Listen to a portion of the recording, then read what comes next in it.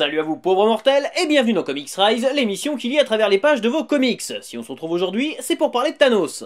Bon c'est vrai, hein, faire une vidéo sur Thanos à l'heure où Avengers Infinity War sort au cinéma, c'est pas franchement original. Mais à l'heure où tout le monde va vous expliquer pourquoi Thanos représente une puissante menace dans l'univers Marvel, je me suis dit qu'il était plus intéressant de prendre le problème à l'envers. Thanos est un gros loser et je vais vous le prouver. Et pour mieux comprendre mon raisonnement, il faut revenir à l'enfance de Thanos. Thanos est né sur Titan, une lune de Saturne peuplée par les descendants des Éternels. Dès sa naissance, l'enfant se différencie de ceux qui l'entourent. Il est en effet porteur du syndrome du déviant, une mutation génétique à l'origine de sa peau violette et de son corps difforme et massif. Et là, tu te dis que c'est déjà assez dur comme ça pour lui et que c'est pas la peine d'en rajouter. Et pourtant, son père, le mentor Alars, décide alors que Thanos ne pourra jamais lui succéder, et sa mère, profondément traumatisée, tentera même de le tuer à sa naissance, mais en sera empêchée. Rejeté pour son physique ingrat par ses camarades, Thanos se réfugie dans la science, à la recherche de ses propres origines. Mais les méthodes conventionnelles et non violentes en vigueur sur Titan ne lui permettent pas d'aller au bout de ses recherches. En secret, Thanos commence à pratiquer la vivisection et bien pire encore, puisqu'il ira jusqu'à tuer sa propre mère pour essayer de comprendre d'où vient sa mutation. Renié par son père et prenant la fuite à la tête d'une armée de mercenaires, Thanos reviendra finalement sur Titan pour accomplir sa vengeance, lors d'une terrible attaque qui coûtera la vie à une grande partie de la population. À partir de là, celui que l'on surnomme maintenant le Titan Fou n'aura plus qu'un objectif dans la vie, la quête du pouvoir absolu, notamment incarné par les gemmes de l'infini. Dans cette quête, Thanos va trouver un adversaire à sa mesure, sa némésis pour l'éternité, Adam Warlock. Un personnage qu'il considère d'ailleurs de façon assez paradoxale comme étant ce qu'il a de plus proche d'un ami. Une relation largement développée dans les récits de Jim Starlin, le créateur de Thanos. Et tout ça résume assez bien les relations sociales du Titan Fou. Il est profondément seul. Car si son adversaire Warlock est pour lui ce qui se rapproche le plus d'un ami, Thanos n'a aucun véritable ami et ça depuis son enfance. Il a toujours été rejeté par les siens et s'il a bien eu des serviteurs ou des alliés au cours de ses aventures, la majeure partie de ses relations, souvent pleines de mépris, se terminent par des trahisons dans un sens comme dans l'autre. Bon, à défaut d'avoir une vie sociale très développée, Thanos pourrait au moins vivre une belle histoire d'amour. Eh ben non. Non, non, non, non, non. Amoureux depuis son enfance de la mort en personne, Thanos n'a pas vraiment bien choisi son love interest. Là où certains et certaines d'entre vous rêvent peut-être de séduire une star du cinéma ou de la chanson, le mec a mis la barre bien plus haut. Le titan fou cherche donc par tous les moyens à attirer l'attention de sa bien-aimée, notamment en obtenant le pouvoir absolu qui lui permettrait d'égaler la mort, mais aussi de lui offrir de nombreuses âmes en tuant un maximum de personnes dans l'univers.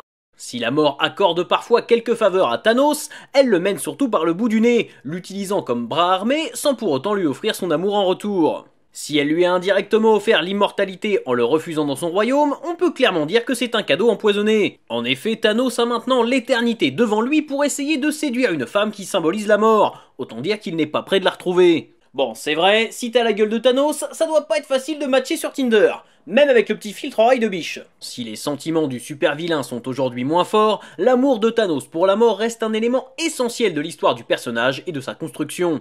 En effet, il a commis beaucoup de méfaits par amour, et si cela ne justifie en rien les terribles crimes dont il est responsable, réaliser de telles exactions à l'échelle cosmique par amour est la preuve que Thanos est complètement in love. Ah, quel romantique ce Thanos Mais qu'en est-il de sa vie professionnelle? Au fil des années, Thanos s'est imposé comme LE grand méchant de l'univers Marvel, car là où quand il ne s'agit pas d'une vengeance personnelle, les ennemis de Spider-Man cherchent à s'enrichir ou à prendre le contrôle de New York, Thanos voit les choses en grand, allant jusqu'à faire disparaître la moitié de la population de l'univers d'un claquement de doigts, juste pour faire plaisir à sa meuf. Seulement, comme je l'ai dit précédemment, Thanos est un solitaire, et il ne peut pas vraiment compter sur un quelconque soutien. Résultat, même s'il arrive à obtenir de grands pouvoirs, ses sbires, comme le Black Order, finissent souvent par l'abandonner dans le meilleur des cas, ou le trahir pour se venger de son manque de reconnaissance. Il en va de même pour les enfants de Thanos, Nebula, sa fille adoptive, ou son fils Stain, qui ne sont pas franchement loyaux envers leur père. Attention, Thanos n'est pas un père modèle non plus, c'est même carrément l'inverse. Et puis on se demande finalement pourquoi Thanos cherche à tout prix à être aussi puissant. Si on oublie un esprit revanchard forgé dans son enfance ou ses motivations amoureuses envers la mort, on a souvent l'impression qu'une fois omnipotent, Thanos ne sait pas vraiment quoi faire de ses dix doigts. Un peu comme si après cette étape, la seule solution pour lui était d'être vaincu pour mieux recommencer. Thanos, c'est un peu comme si Michel de la Conta, après 25 ans de carrière, arrive au sommet de l'échelle et utiliser son influence au sein de l'entreprise pour passer sa journée à faire des photocopies, la moindre cartouche d'encre vide renvoyant Michel à un poste de stagiaire. S'ajoute à ça un autre problème. Pour rester menaçant et charismatique, un personnage doit se faire rare, et ce n'est plus vraiment le cas de Thanos. Pendant des années, Thanos c'est l'Arlésienne, une sombre menace qui plane sur l'univers Marvel, préparant un plan dévastateur. On le voit de temps en temps, lors de grands événements et crossovers, s'opposant au plus puissant héros de la Maison des Idées. Et même s'il est systématiquement mis en échec, il reste assez inquiétant pour être pris au sérieux, et pour que les lecteurs craignent sa prochaine apparition. Mais avec la mise en place progressive du personnage dans le Marvel Cinematic Universe, Marvel a voulu préparer le terrain pour les fans convertis par le cinéma. Et comme souvent, les comics servent de laboratoire. Surtout que si on remet ça à l'échelle du temps chez Marvel, ça voudrait dire que Thanos débarque chaque semaine comme une fleur pour prendre le contrôle de l'univers. Et pour mieux comprendre, je vous conseille d'aller voir ma vidéo sur le sujet. Ainsi, on est schématiquement passé d'une apparition du personnage tous les 3 ou 4 ans à de multiples crossovers et séries mensuelles le mettant en scène.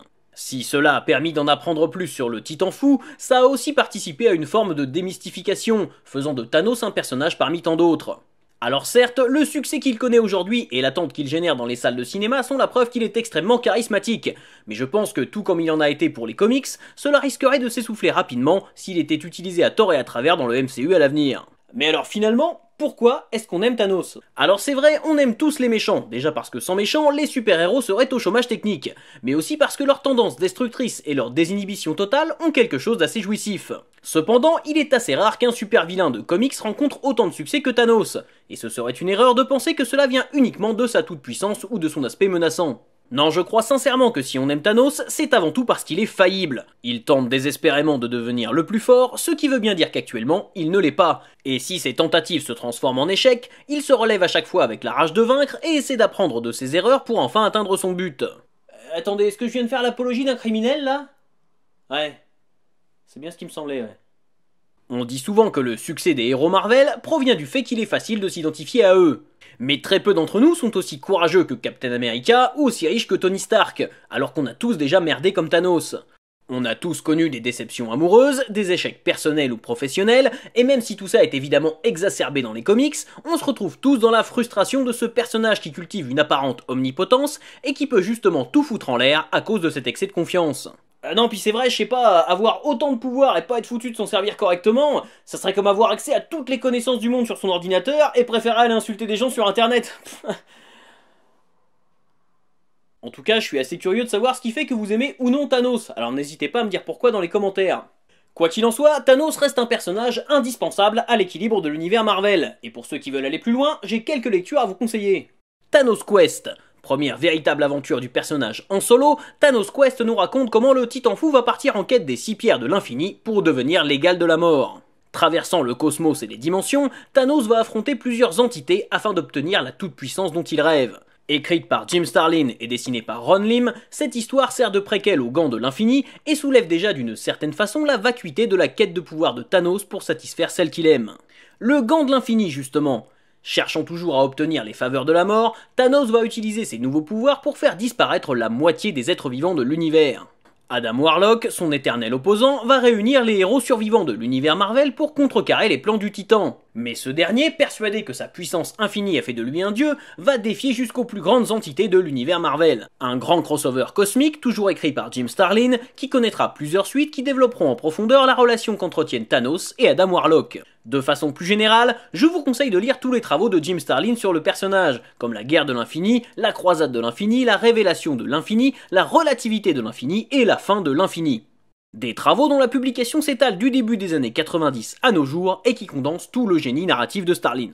Attention cependant, on ne va pas se mentir, pour suivre tout ça, il va falloir s'accrocher, car Jim Starlin écrit ici avec un style extrêmement riche, tendant plus vers l'introspection et la métaphysique que vers l'action débridée. Si bien que l'on se dit que s'il n'était pas devenu auteur de comics, le bonhomme aurait pu sans mal devenir le gourou d'une secte cosmique. Plus proche de nous, Thanos Rising est une mini-série qui nous raconte les origines et la jeunesse du Titan Fou depuis sa naissance jusqu'à son statut de menace cosmique.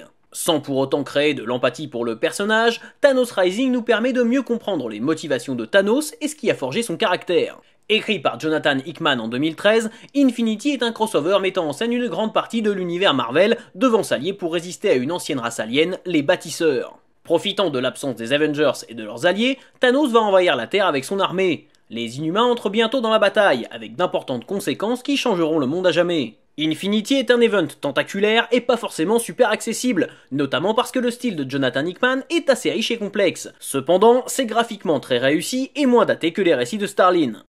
Enfin, l'anthologie Je suis Thanos chez Panini Comics regroupe les récits les plus marquants du personnage et fera office de très bonne porte d'entrée pour comprendre le rôle essentiel de ce dernier dans l'équilibre de l'univers Marvel.